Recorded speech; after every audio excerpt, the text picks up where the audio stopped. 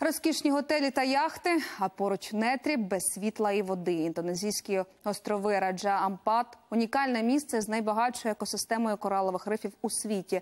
Принаджують людей з усіх людей е, із усіх усюд. Проте мальовничі пейзажі затьмарюють злидні місцевих жителів, які не мають з туризму жодного зиску.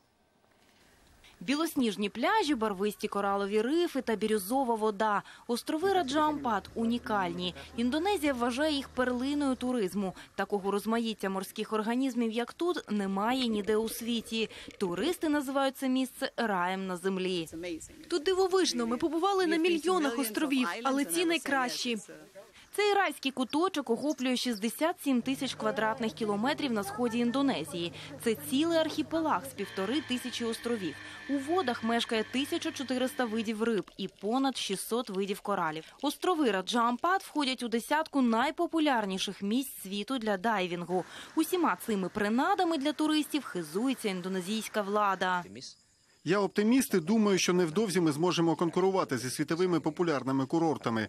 Тут дуже красива природа. Проте корінне населення островів, а це різні племена та народності, від туристів не в захваті.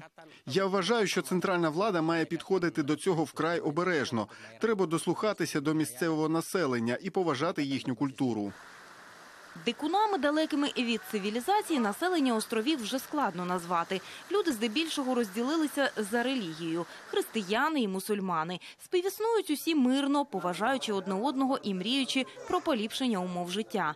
З популяризацією туризму вони побачили, що таке комфортабельні помешкання з усіма зручностями. Тож нині не проти, щоб замість організації платних екскурсій для приїжджих влада забезпечила електрикою та водопостачанням і місцевих, а головне – збудувала бодай одну школу. Ганна Ільїних, новини телеканал Інтер.